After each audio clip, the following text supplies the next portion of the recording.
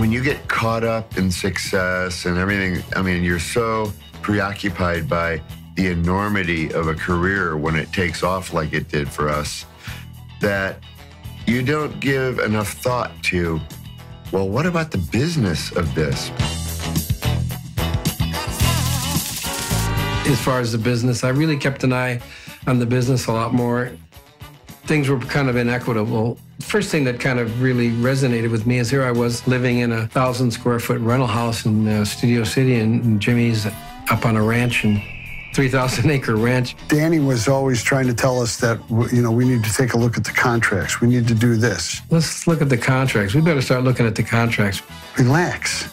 Let them do that stuff. We'll do ours. Finally got the band to listen, and, and we had the books audited, and lo and behold, I mean, the difference uh, the difference in money was staggering. He was taking 100% of the publishing.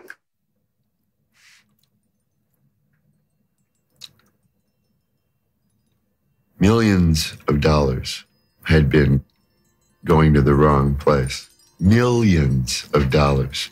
It wasn't like anything was being stolen because we signed these terrible contracts in the very beginning of our careers with, with, with Jimmy. I understood why he developed the company that way and it was basically for everybody's protection.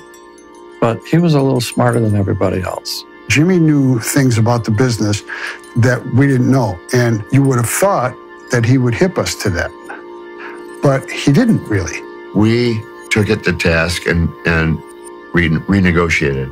And he had uh, 51% by himself of our entire career, and we had we had 49% split seven ways. So there's quite a difference, especially after Uncle Sam comes in and grabs half. I think we'd gone as far as we were going to be able to go with him, but I just think the time was up with with that relationship, and we had to move on.